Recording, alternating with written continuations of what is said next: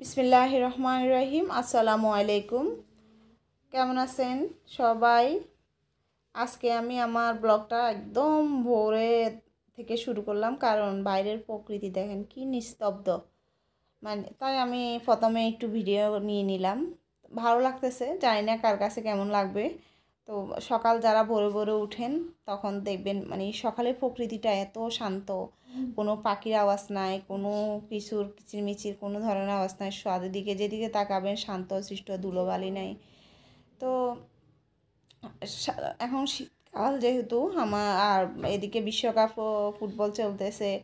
তারপরে শীতকালেও অনেক মানে মজার মজার খানা। তো আমি বিকালের জন্য আজকে সকালে প্রথমে একটু ফুটেজ নিয়ে এরপর বিকালের নাস্তা তৈরির জন্য আমি তখন বিকালে দ্বিতীয় ব্লগটা আমি বিকাল থেকে শুরু করছি। তো আমি বিকেলে আজকে ফুস চটপটি আবার ওই দিন গত, কিছুদিন, কয়েকদিন আগেও বানাইছিলাম। তো এখন আমি কি, কতগুলা চটপটি রেখে দিছিলাম ডিপে এখন আর মানে ওগুলা বের করে আর কয়টা ফুচকা ভেজে আমরা শুধু মানে রেডি করে রাখি। সবসময় তার বাসায় নতুন করে তৈরি করতে ইচ্ছা করে না, তাই আমাদের সুবিধার জন্য শুধু ফুচকাটা ভাজি।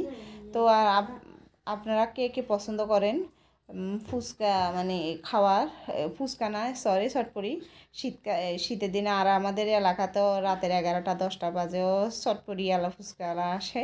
হয়তো অনেকেই আমার মতো কষ্ট করে খেতে চান না, বাসা বাহিরতে বাহিরতেই কিনে নিয়ে আসেন। আসলে বাহির, বাহিরের চটপটিটা কত স্বাস্থ্যকর সেটা তো ভালোই জানে যদি মানে ওই ধরনের। তা আমি সবসময় বাইরে কখনো চটপটি ফুচকা খেতে চাই না। মাঝে মাঝে আক্তারুজ্জামানে গেলে কিংবা লাখ প্লাজা গেলে, লাখ প্লাজা না, এটা ফার্স্টে সিঙ্গাপুর, ব্যাংককে ওখানে খেলাম তো ভিড়ের ওদের চঞ্চলতা মানুষ হিবিজিবির কারণে করোনার আগে খাওয়া হয়তো করোনার পর থেকে আমি আর কখনো খাই না। তাই এখন খাইতে মন চাইলে বাসায় তৈরি করি খাই। তো বাইরের খাওয়াটা মানে একদম ভালো লাগে না। আরেকবার আমি লাকি প্লাজা এই লাকি প্লাজা মনে হয় তা আমার মনে পড়তেছে না অনেক আগের কথা বলতেছি। এ শর্মা খাইতে গেলাম। তো এখন শর্মাটা আমি অনেক পছন্দ করতাম। তো খাইতে গেছি আর ওখানে শর্মার মধ্যে কি পড়ছে? একটা তারকাটা পড়ছে।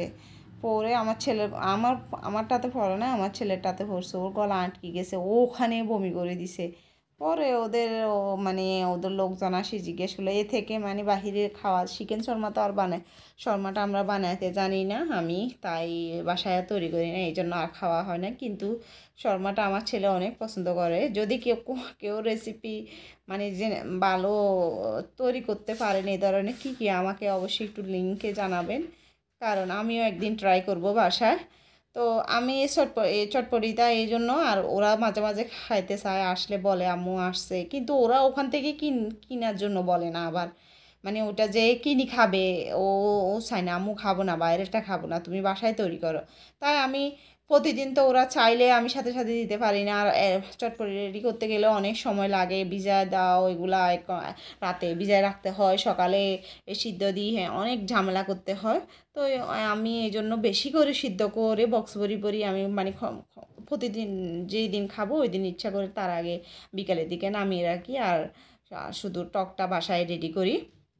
তো অনেকে মানে ছটপটির টকটা অনেক পছন্দ করেন। মানে সবাই পছন্দ করে অনেকে না? তো টকটা কে কীভাবে তৈরি করেন? আমি তো জানি না। তবে আমি টকটা তৈরি করি তেঁতুলের পরিমাণও দিই। আমি চিলি সস, সয়া সস, তারপর টমেটো সস, তারপরে একটা লাল মরিচ, চিনি, বিট লবণ, তারপরে আর এগুলা দিয়ে, এরপর একটু জিলা টালা দিয়ে আমি সসটা তৈরি করি। এখন এভাবে যদি সসটা বা আপনারা, আমি যে যতগুলা উপকরণ বলছি, যদি তৈরি করেন, দেখবেন এটা আরও অন্যরকম টেস্ট খাইতে। ওখানে সসটা ওরা কীভাবে তৈরি করে আমি জানি না। কিন্তু আমি যেভাবে যখন আমি আমি বা সস যদি মানে টকটা যখন বাসি যায়, তখন আমি এমনি বসে বসে ফুচকা দিয়ে খাই। কারণ ফুচকার পরিমাণও অনেক পরিমাণ বা এত চটপটির মধ্যে এতগুলা ফুচকা দিতে হয় না।